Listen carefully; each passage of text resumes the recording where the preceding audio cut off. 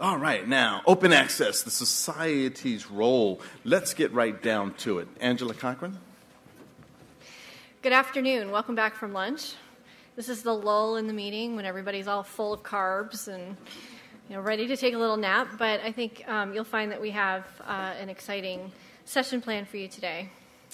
As we talk today about the powerful business of society publishers, we cannot ignore the unique impacts that open access, public access, and open, open data have on society publishers. It's hard to argue against the benefits of open access to the global scientific community, and societies are committed to advancing science and the professions that they represent. Even a society board can get caught up in the open access um, movement before someone will eventually say, hold it, how are we going to make money on this? Because the truth of the matter is, the expectation of the society is that they will continue to make income, significant income in many cases, off of journals program. Certainly, there are societies that fall within disciplines for which an entirely open access author pays model works. But this is not the case for everyone. Many societies count on income from journals to support outreach, education, and other mission critical programs. Further, not every professional community supports open access, nor does every professional community have funds for open access. Leading us in this discussion today will be Will Frass from Taylor and Francis, who will talk about the Taylor and Francis ALPSP survey on society um, uh, society survey, which asked society heads, presidents, and um, editors about open access impacts and society engagement. Next, we have Emilio Bruna, distinguished scholar and professor, Department of Wildlife and Ecology and Conservation at the University of Florida. He's also editor in chief of Biotropica, the journal of the Association of Tropical Biology and Conservation. He'll talk about the challenges of supporting open science with a society journal that provides income to the society, for whom open access provides challenges and opportunities. Lastly, David Crotty, senior editor at Oxford University Press, will talk about the many new ways that researchers are disseminating their work via social media. He'll review the pros and cons of using these alternative metrics to measure impact. So, without further ado, I will have Will come up and so thanks very much. My name is Will Frass, and I'm the Senior Research Executive at Taylor & Francis. In recent years, our research department has published the results of several surveys, including the results of the survey which we sent to our society contacts in partnership with the Association of Learned and Professional Society Publishers. The 2014 survey of learned societies built upon a pilot which we sent out in 2013. So that gave us the chance to improve some of the questions and then reach a wider audience with the help of the ALPSP contacts. So today I'm going to discuss some of the findings pertaining to open access specifically in a manner which I hope is more illuminating than this individual which you saw briefly just now when I skipped too far ahead. So to begin with, I've got a couple of charts that demonstrate the diverse range of societies who took part in our survey. Nearly half of those responding were from societies with fewer than 1,000 members but nearly, then a, nearly a fifth said that they had over 10,000 worldwide. And there's also representatives from a wide range of subject areas.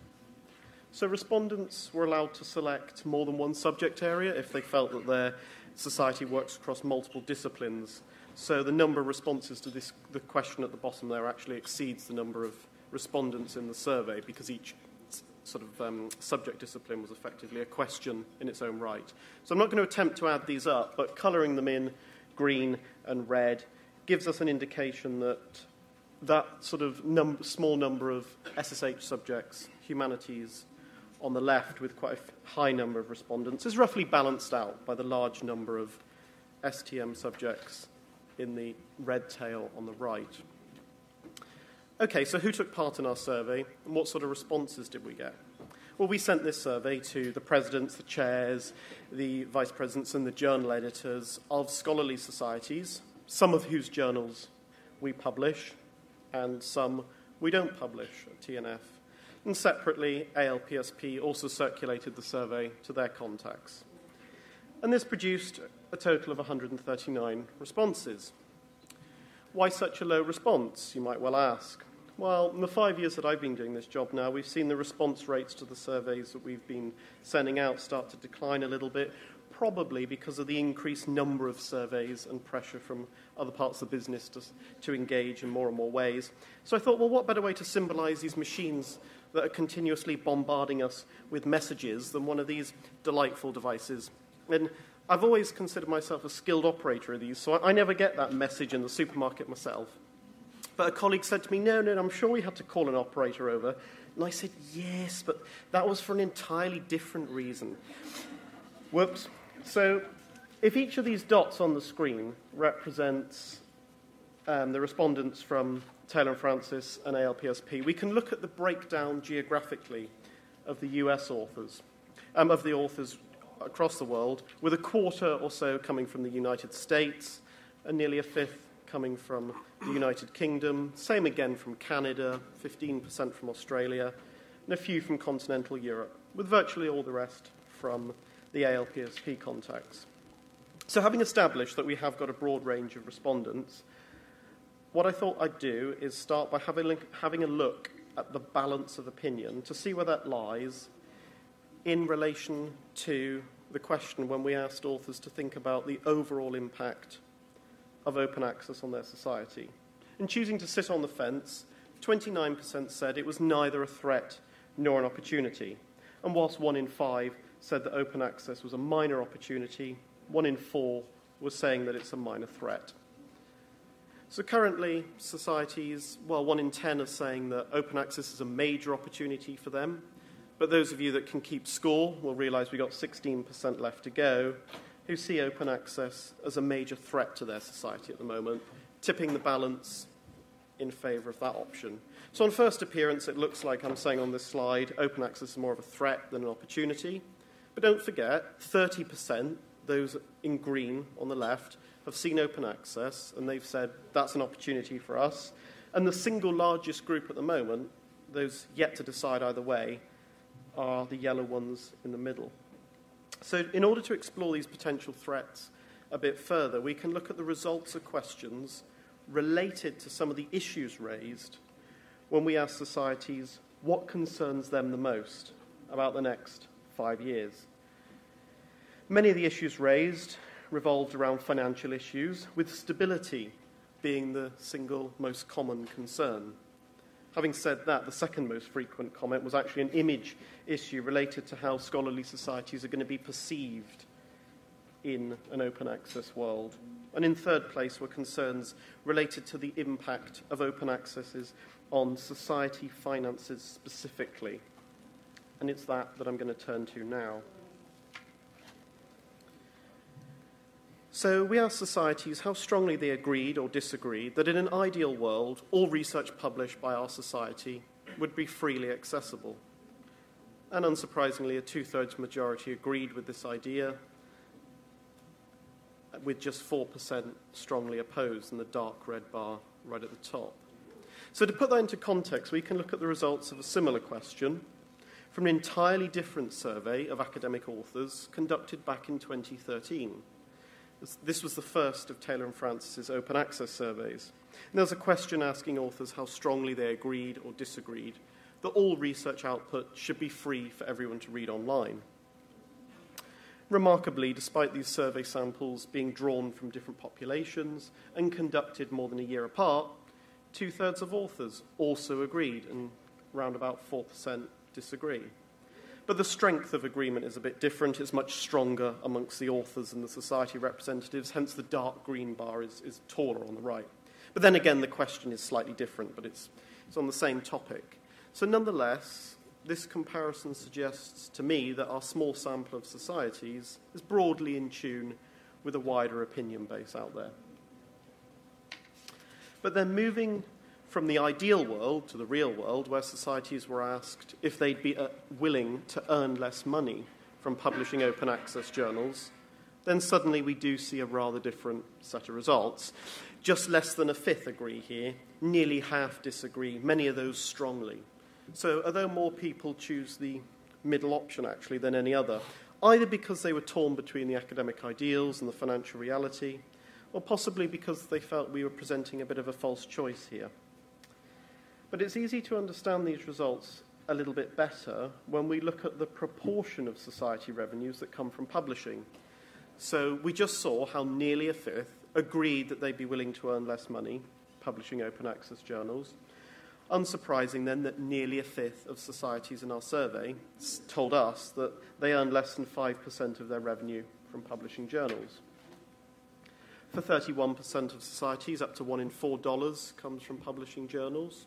About a quarter of societies said they get half their revenue this way, 17% up to three quarters, and then 9%, nearly all their revenue comes from publishing journals. This splits rather neatly in half at the 25% mark, half below and half above.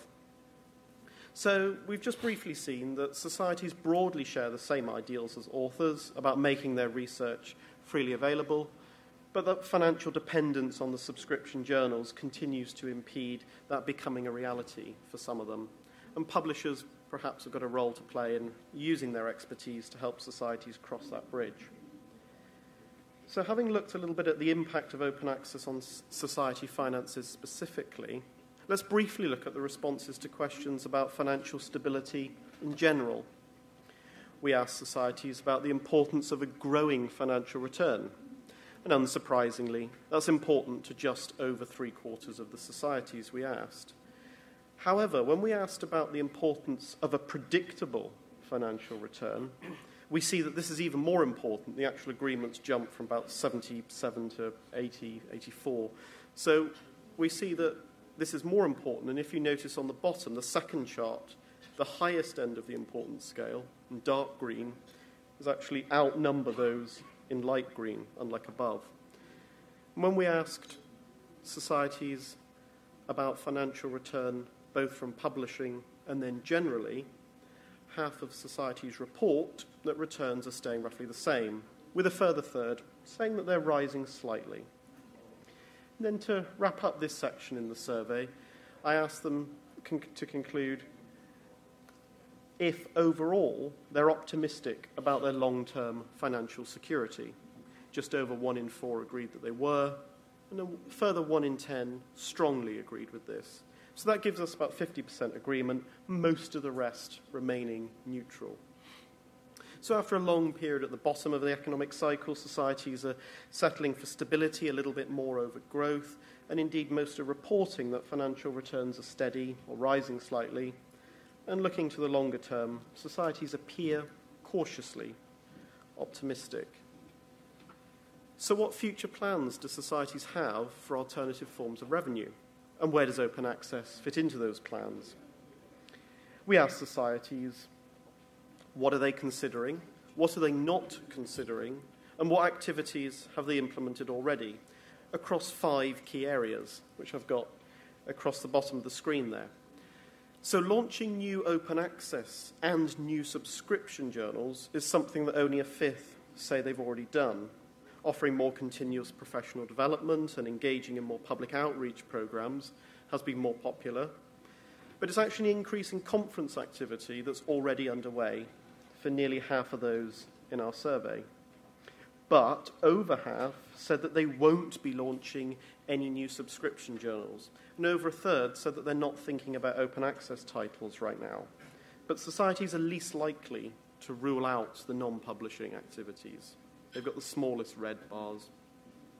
Finally, when we look to the future, now we see that launching new subscription journals is on the fewest minds, but launching new open access titles is actually one of the most popular plans.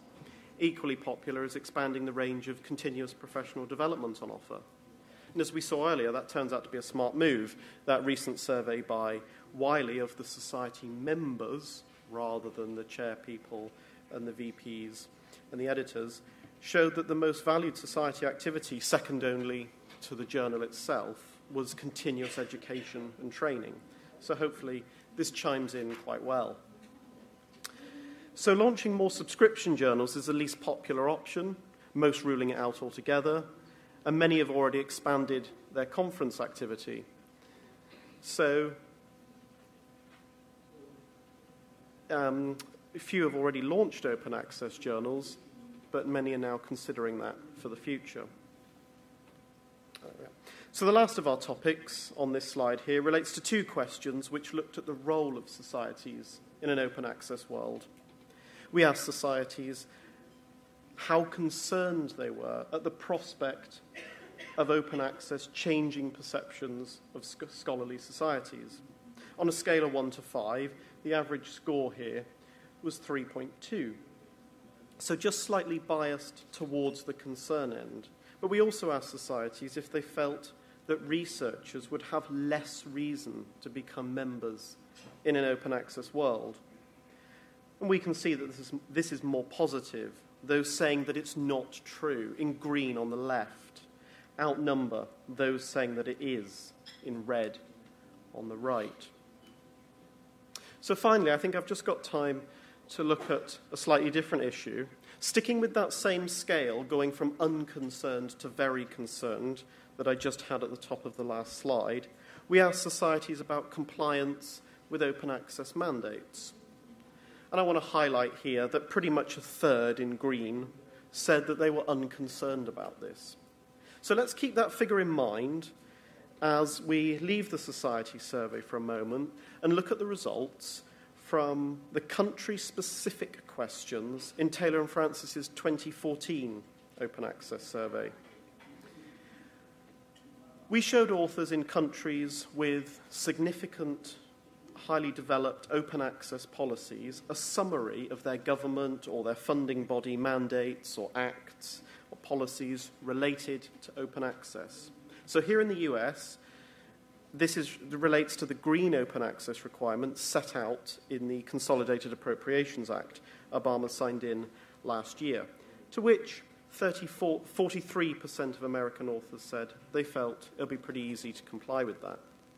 Back in the UK, the requirements are set out by the Research Councils UK, if you're funded by, by them, and they require either gold or green with very specific rules about the licensing and then the embargo period. And just 26% of British authors said they felt it would be easy to comply. And then set halfway between the two, 33% of authors from all across the European Union felt it would be easy to comply with policies requiring them to deposit their article in a repository with funding available for green or gold open access if they're funded by the EU's Horizon 2020 policy. So, I guess the final take home message for societies here really is to think about authors from different regions who may have specific open access needs depending where they're from and who's funding their research. So I think it's time for me to make way for our next speaker. But if any of you, you would like to see all the charts from this survey, the quickest way to actually access them is just to Google Taylor and Francis Society Survey, and it's one of the top results. I think it's a good idea to put it in quotes. Um, and I've also got a limited number of bound copies with me, which I'm hoping to be relieved of before my return flight. But for now, I'd like to thank you all very much for your attention.